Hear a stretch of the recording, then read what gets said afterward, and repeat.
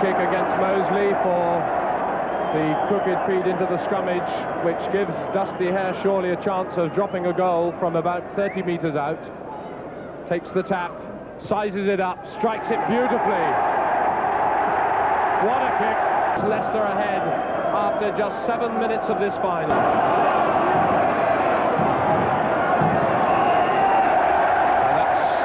By Moseley. Lying right over the ball, so a penalty to Leicester. So can Dusty Hare put this one over from about 30 metres?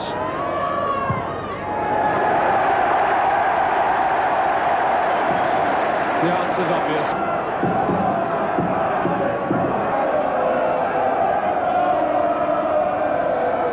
Down from Joyce.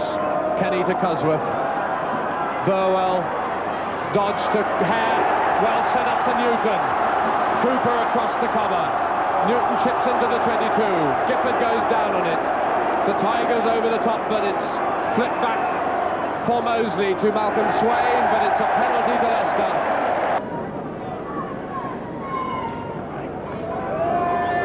Dusty Hare. so gently. Nine then the score, and it's still all to play for with 10 minutes to go.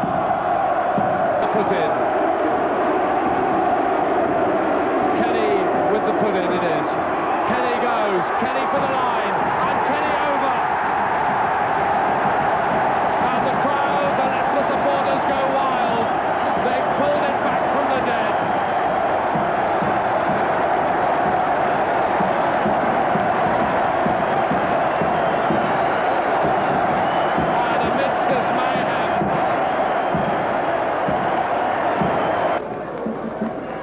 bitter disappointment this must be for Moseley.